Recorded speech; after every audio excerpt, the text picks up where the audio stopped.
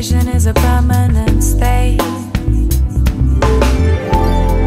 Does your external world reflect your?